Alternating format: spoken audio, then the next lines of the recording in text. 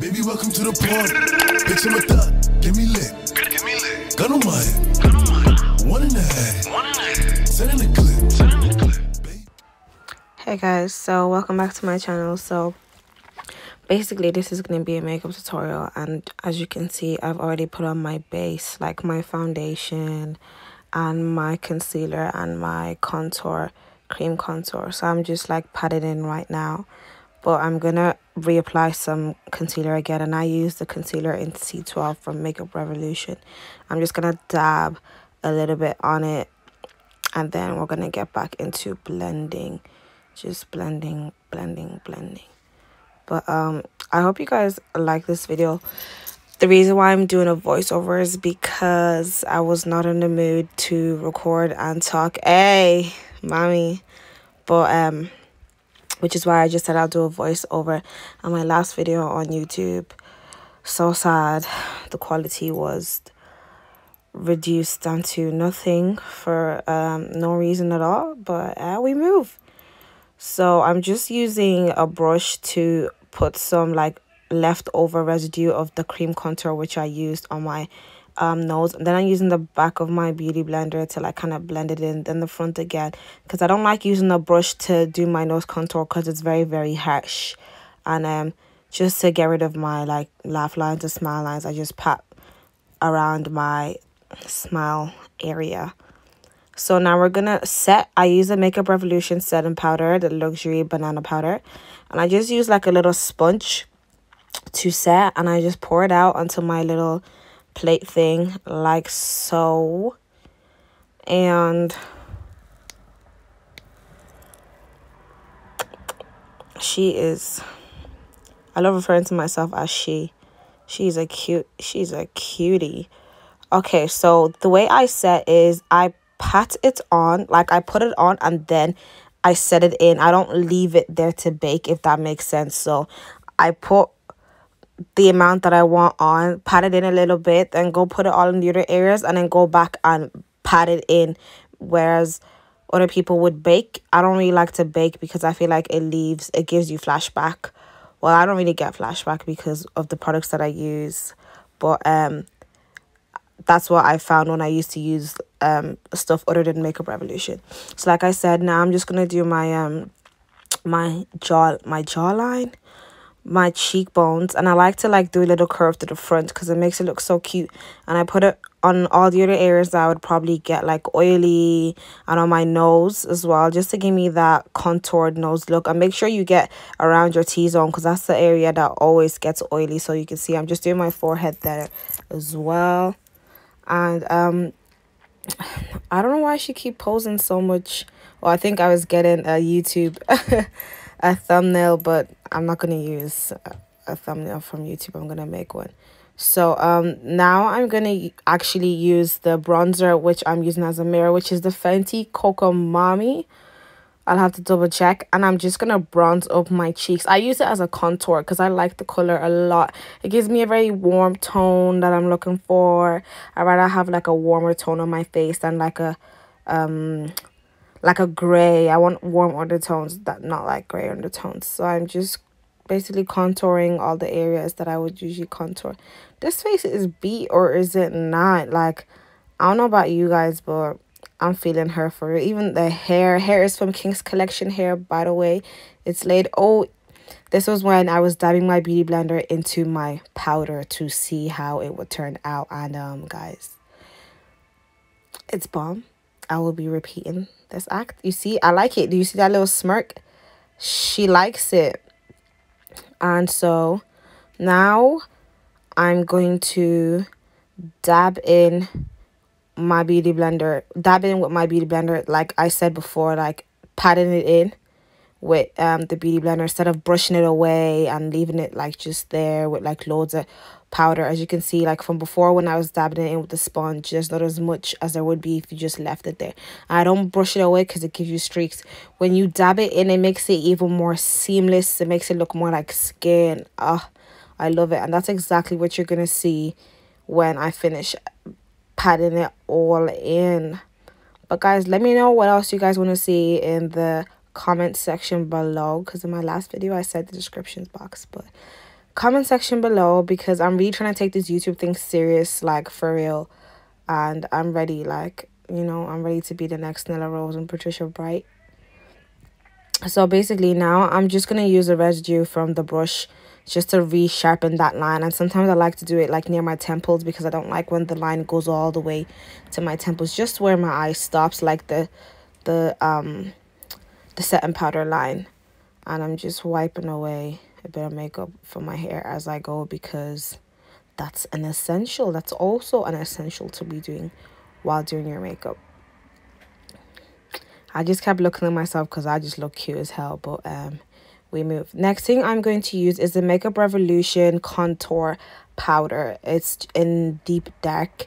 And I'm just going to use that to contour. And also like this one again, it gives me a very like... she's going through a lot. It gives me a very like... There was a hair or something. I think there's a hair in there. Come on, girl. You can get it. A. so it gives me also a warmer tone like i use three different um contour and bronzers just to give me three different kind of brown tones on my face and i think that's really really nice i have one that's kind of dark and i have one like a dark brown then i have one that's like a chocolate brown and then i have one that's like a caramel and they make the, my face how my face looks if that makes sense i feel like everyone should find the three different contours, face powders that it is that they're looking for to make like that look. I feel like it really brings it all together. And then the next thing I'm going to use is this press powder from Makeup Revolution. And I just dab that in with my beauty blender. And I pat it into my under eyes again just to brighten up a little bit. Because I love that whole bright under eye look that I always have. It's my fave. It's my signature look. Oh no.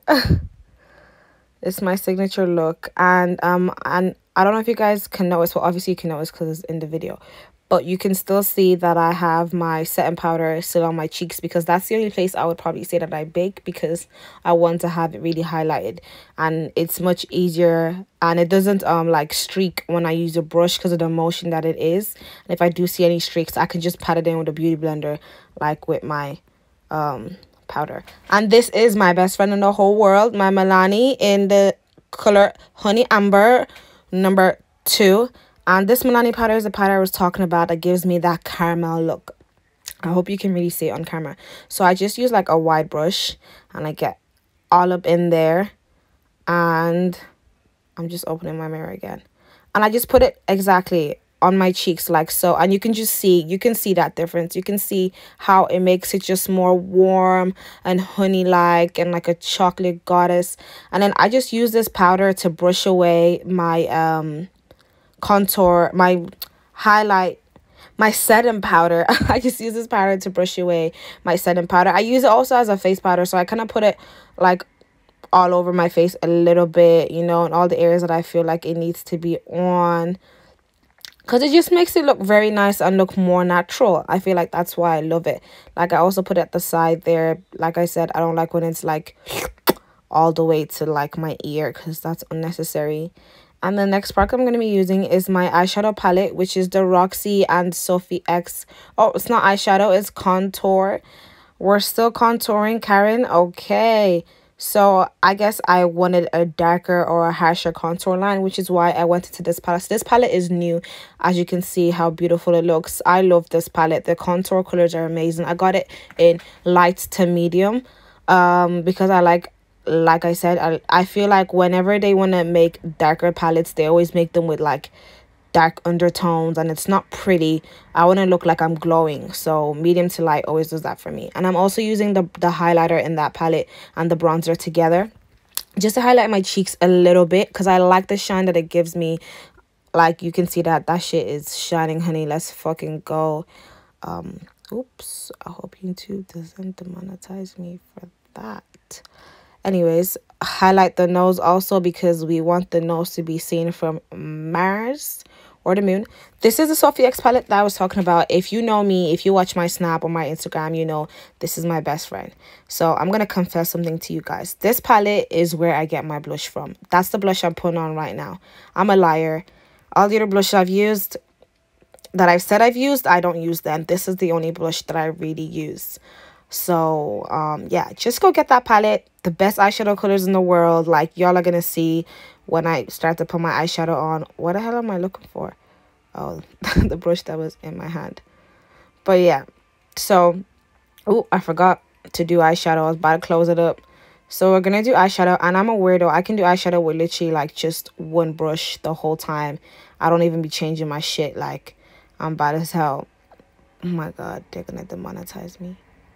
So basically the look I was going for today is the look I usually always go for. My back hurting. So I'm gonna use the brown palette, the brown color up top. I think it's called cheesecake I'll double check and I'm just to put that into my crease and I'm to blend and blend and blend till my hand falls off until I'm tired and we're just to blend. I'm to use this as my transition color. I think it's a very, very pretty color. Like, that's why I like to use it as my transitional color. It's the one that's actually almost finished. I always use it. And then the next color I'm going to use is, um, I think I'll have a look. I'll just put it in the description box below because, um, my palette is not handy right now and I don't know why I didn't show you guys properly. So I'm looking for something. Oh, I'm going back to the Roxy palette and I'm going to use the pink on the Roxy palette, Karen. Is that what we're on? Okay, okay, yeah. I like it. You like it? Ooh. It's the pink. It's like a pink shimmer highlight. I remember this was pretty as hell. Y'all can see that this was pretty as hell. So, um, we're just putting that on our crease. You work your way, work, girl. I'm gonna just keep quiet.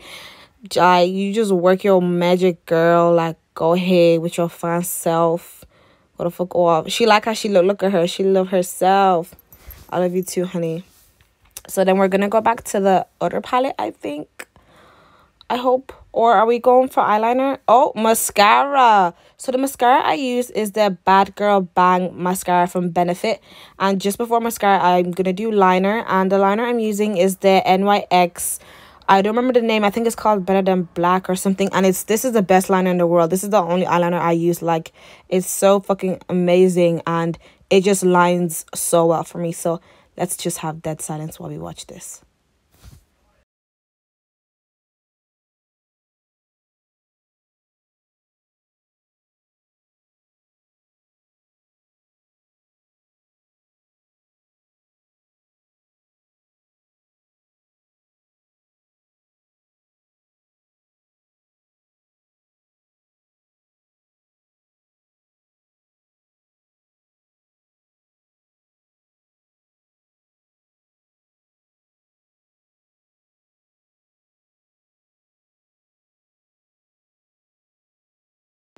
And we're back.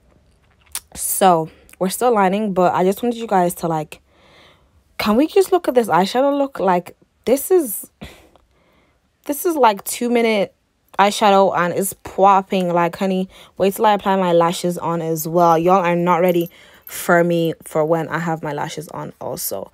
But um so yeah i'm just lining. And then i use the liner to make my little spot also after i'm gonna make my little spot on my face i always do that little spot. I have a little i have a real beauty mark on top of my lip but because my makeup always covers it. I like to make my spot on my cheek. I feel like it just makes it look cute. Like that just makes that makes such a huge difference. I don't even care what anybody says. But yeah now i'm gonna do my mascara. My mom tried to fight me for this mascara. I was like sis i don't give a like that's my mascara and I took it right back from her. Who else's moms make like loves to try still their makeup? Like go buy your own sis the fuck but yeah so like look how amazing this mascara is. If i actually sat down and put this mascara on properly it would give me like voluminous lashes. It's such a great mascara and it really makes your lashes long and full and they come out way more when you properly do it. And i also put a little bit on my bottom lashes because as you can see voila chef's kiss that makes all the difference honey. Just like blush does to your face. I feel like blush just makes your face like wow like blush should really be doing it for me so when karen is finished doing her bottom lashes because i know she's going back in again i know this bitch oh no okay i know it i knew it next thing we're gonna do is our we're gonna line our lips or I'm gonna put my lashes on. I don't know yet. I'll see at the same time as you guys. Okay. Moment of truth. Moment of truth. Mm-hmm. Liner. Okay, liner. So the lip liner that I use is um my lip liner from Kiko. This is my best friend. It's the Kiko lip liner in the number 321. This lip liner, honeys, is the best. Like, this is the only lip liner that I use, um, apart from the one I stole from my friend Tumi. Hi, Tumi. Um, so I didn't steal it actually. I accidentally put in my makeup stuff and now the liner is mine and that's how life goes. So I'm just making my little triangles the way I like to make them. I'm actually going to get my lip fillers very soon and um, because I'm just tired of lining my lips the way I would just like them to naturally be. And I kind of messed it up a little bit, but once you put on lip gloss and all that jizz, it's going to be okay because right now I looked crazy, but it's alright. It's alright. We're going to fix it. So I actually put the line, like I line down the middle of my lip, my top and bottom lip, because I feel like it makes it just look plumper when I put on my, um, when I put on my actual other lip thingies. I don't know why my brain doesn't work today. But this is the liner I was talking about that I accidentally took from Tumi. And I just kind of use it to like outline a tiny bit because it's a little bit darker. The Kiko one is more winey. This one is more chocolatey. And the two together is just bomb. So that's the NYX Lip Butter Cream in Madeline because I know that shit off by heart. And then I'm going to use, here comes my mom. She wanted the hairbrush. And then, hi mom, with her crazy self. Then I'm going to use my butter gloss from um, NYX and this is in the color Cairo or I think it's the other way around, Cairo and Madeline. But anyway, those are two colors that I use. Then I use the gloss. This is the best glosses. You can just get it from a drugstore or you can just get it from like the hair shop when coronavirus is finished. As you can see, I'm in need of more as I'm squeezing the hell out of it. And this just brings the combo all together. Ugh, look at me. I'm in love with myself. I love you too, honey just putting that all over there. Like i feel like glossy lips is the best. I don't really wear matte. You that's not even i don't even it's not even a really thing. I don't wear matte. You won't catch me wearing matte. My lips will always be glossy to the gods honey to the gods. So karen are we gonna be finished glossing anytime soon? Okay she's finished. Perfect. Okay so what happened was my camera decided to cut out and I didn't get the part of my lashes. But this is how it looked in the end. Thank you guys so much for watching. I feel